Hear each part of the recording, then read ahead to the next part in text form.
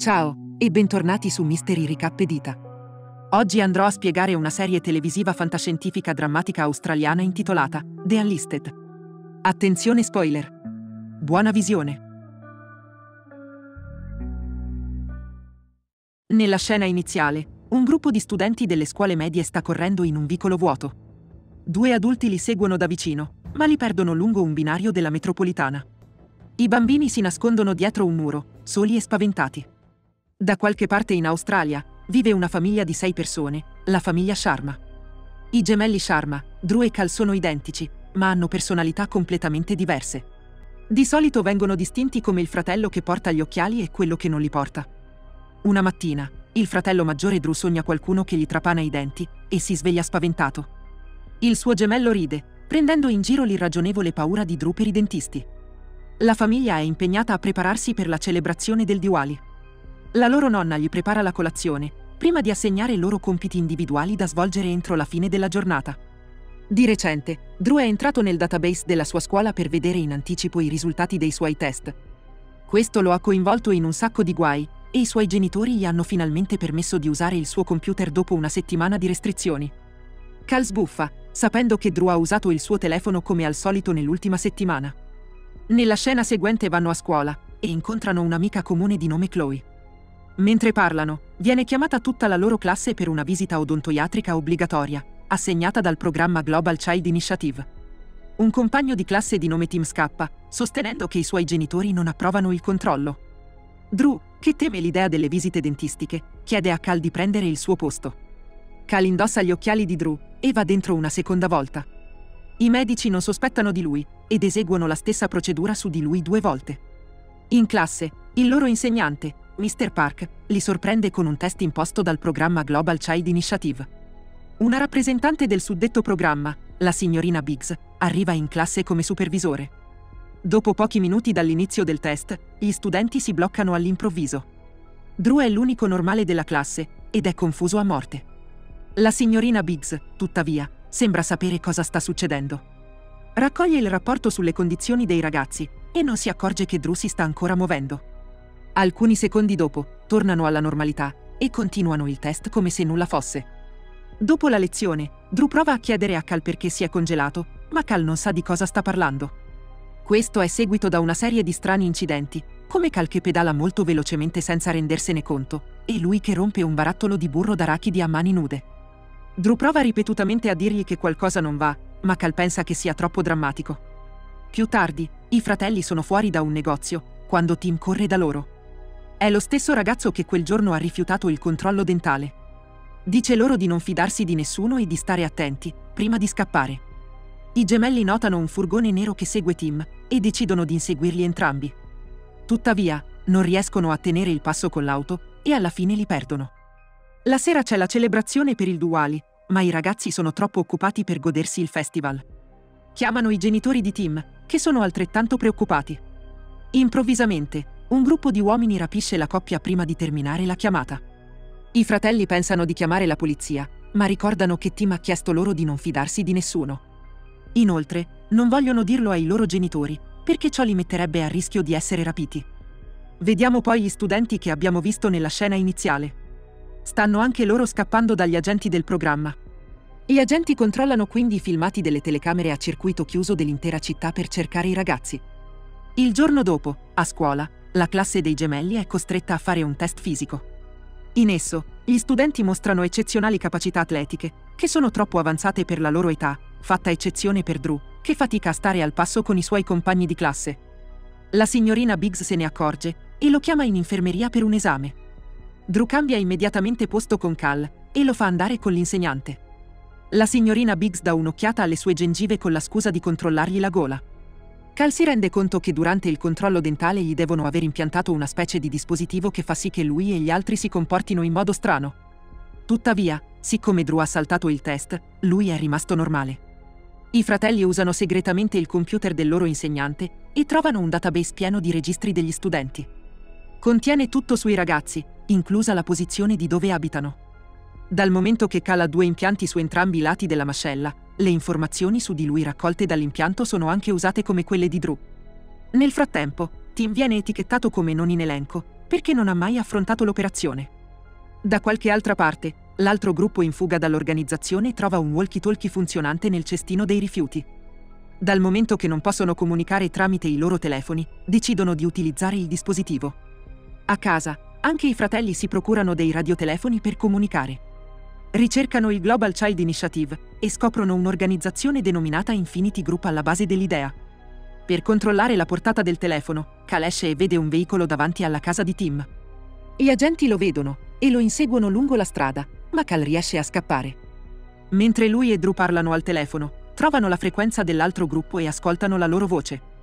Cercano di comunicare con loro e di guadagnare la loro fiducia dicendo loro cosa sanno del programma. Il leader dell'altro gruppo, Rose, gli chiede di incontrarsi il giorno dopo su una collina. Rose e il suo gruppo rubano i cestini del pranzo alle persone al parco. Sanno che non possono andare avanti a lungo in tali condizioni e sono disperati per aiuto esterno. Al contrario, i ragazzi Sharma vengono nutriti in abbondanza dalla nonna. A scuola, giocano a kabaddi, ma sono inseriti in due squadre diverse. Grazie alla ritrovata forza di Cal, lui lotta facilmente con l'altra squadra, ma questo rende anche gli agenti sospettosi di lui. Drew gli chiede di perdere il round successivo, in modo da non essere scoperti. Cal fa con riluttanza come detto, ma è arrabbiato per aver perso. Una lecchina di un insegnante di nome Regallo registra mentre prende a calci un bidone, facendolo volare a pochi metri di distanza, e decide di mostrarlo alla signorina Biggs più tardi. Dopo la scuola, i fratelli corrompono la loro sorella maggiore per coprirli, mentre escono per incontrare Rose e le sue amiche. Quando finalmente raggiungono la posizione, non trovano nessuno in giro. All'improvviso, qualcuno gli mette delle borse in testa nel tentativo di rapirli. Tuttavia, contro la forza di Cal, si dimostrano deboli. Si scopre che non sono gli agenti, ma Rose e i suoi amici. Volevano rapire i ragazzi per assicurarsi che non fossero con il gruppo rivale. Durante la lotta, l'amico di Rose, Jacob, si fa male. Lui e Cal rimangono al parco per assicurarsi che l'altro gruppo non stia bluffando, mentre gli altri vanno al nascondiglio, dove Drew dice loro tutto. Il gruppo rivela che anche loro non hanno ottenuto gli impianti dentali a causa di alcuni disturbi, ed è per questo che non sono in elenco e sono nella lista dei ricercati dagli agenti. Non sanno quale sia esattamente il motivo del programma, ma sono sicuri che alcune persone potenti stiano cercando di controllare i giovani. Drew racconta loro di Tim e dei suoi genitori che sono stati rapiti, il che fa sentire solo peggio il gruppo. Drew percepisce la loro preoccupazione e assicura loro che i loro genitori stanno bene, anche se lui stesso non ne è sicuro. Al parco, Jacob e Cal condividono i Samosa e legano riguardo la loro squadra sportiva preferita. Jacob sta ancora soffrendo molto a causa del suo infortunio alla gamba, ma si sente in pace per la prima volta da quando tutto questo è iniziato. Drew e Rose arrivano un'ora dopo e il gruppo prende strade separate. Il giorno successivo in classe, la lecchina dell'insegnante, Regan, viene nominata sorvegliante e ha il compito di dire agli agenti qualsiasi attività sospetta che avvenga a scuola. Mostra quindi a Miss Biggs il video di Cal che prende a calci il bidone, ma invece di arrabbiarsi, la signorina Biggs è felice della forza che ha guadagnato. Gli studenti devono sostenere ancora un altro test fisico, ma questa volta vengono controllati usando gli impianti dentali. La signorina Biggs li fa camminare e girare in un certo modo per controllare la loro coordinazione. Drew segue gli altri e riesce a nascondere il fatto di non essere controllato. All'improvviso, tutto torna alla normalità e quelli che sono stati controllati non ricordano nulla. Sulla via del ritorno a casa, i gemelli vengono avvicinati da Rose. Si precipitano rapidamente al nascondiglio per vedere che la ferita di Jacob è peggiorata. Ha la febbre a causa dell'infezione e sicuramente peggiorerà se non verrà curato immediatamente. Per aiutarlo, Drew e Cal vanno alla clinica della zia Maya. Hanno in programma di distrarla per rubare degli antibiotici, ma lei si accorge del loro strano comportamento. Quando lei li scopre, non hanno altro modo che chiederle aiuto. Le dicono comunque solo del ragazzo ferito e non dell'Infinity Group. I tre giungono al nascondiglio per essere attaccati da Rose e dagli altri. Pensano che i gemelli li abbiano traditi, ma i ragazzi spiegano loro rapidamente la situazione. Maya è scioccata nel vedere le condizioni in cui vivono i ragazzi. Si prende cura dell'infortunio di Jacob, prima di chiedere loro cosa sta succedendo. Le assicurano che stanno facendo la cosa giusta, ma si rifiutano di dirle di cosa si tratta. Quando i ragazzi tornano a casa, sono preoccupati per la loro zia. Pensano che la sua vita sia a rischio perché li ha aiutati. Tuttavia, la notano mentre parla con gli agenti dell'Infinity Group e sale nella loro macchina. I ragazzi sospettano che sia una di loro, ma sono sicuri che non metterebbe in pericolo la vita dei suoi nipoti. Nella scena seguente, vediamo alcuni uomini entrare nel nascondiglio in cui Rose e il gruppo sono dentro. I ragazzi imballano rapidamente le loro cose e si precipitano fuori prima di essere catturati. Drew non riesce a contattarli attraverso il walkie-talkie e va a vedere se stanno bene. Nel frattempo, Cal va a scuola come al solito. Drew entra di nascosto nel nascondiglio e vede degli insetti uccisi sul pavimento. Tuttavia, il gruppo non si vede da nessuna parte. Gli operai edili lo individuano e lo cacciano via. Capisce che il gruppo è probabilmente al sicuro e ha dovuto nascondersi a causa dei lavoratori. A scuola, tre agenti dell'Infinity Group restano in classe per tutta la lezione. Tuttavia, succede qualcosa di più strano quando Tim torna a scuola come se niente fosse. I ragazzi provano a parlargli durante la ricreazione, ma lui respinge la conversazione. Dopo scuola, Drew torna a casa e vuole che Cal si unisca a lui perché gli agenti potrebbero notare che la posizione dell'impianto e quella sua sono diverse. Cal però decide comunque di rimanere a scuola per gli allenamenti di calcio. Durante il riscaldamento, l'allenatore chiede a Cal di chiamare Tim. Cal corre a casa sua e lo chiama fuori. Tuttavia, Tim sembra non sapere nulla dell'allenamento. Afferma che i suoi genitori sono in un viaggio d'affari, quindi deve rimanere a casa.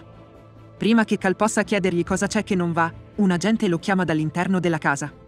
Si avvicina alla finestra e scruta Cal, chiedendo dove sia suo fratello. Cal va nel panico e finge di chiamare Drew prima di scappare, ma l'interazione crea dei sospetti nella gente. Cal va a casa e dice a Drew tutto ciò che è accaduto. Vanno di nuovo al nascondiglio per controllare se Rose e il gruppo sono tornati. Per fortuna, trovano il gruppo lì. Si scopre che erano in una stanza nascosta che hanno trovato all'interno del sistema fognario. Vanno nella suddetta stanza, che sembra essere stata usata da qualcuno in passato. Non è l'ambiente di vita ideale, ma è meglio rispetto alla sistemazione precedente. Poco dopo, i gemelli tornano a casa. Cal si ferma improvvisamente e i suoi occhi brillano di blu. È chiaro che è controllato, ma Drew non se ne accorge. Finalmente tornano a casa e si godono la cena con la loro famiglia. Anche Maya è lì ed è preoccupata per i ragazzi. Nell'ultima scena, rivela di essere stata assunta dall'Infinity Group come medico ufficiale. I gemelli si guardano confusi, incerti se possono ancora fidarsi di lei. Iscriviti per nuovi video come questo attiva le notifiche e lascia un mi piace e un commento per aiutare il canale. Grazie per la visione.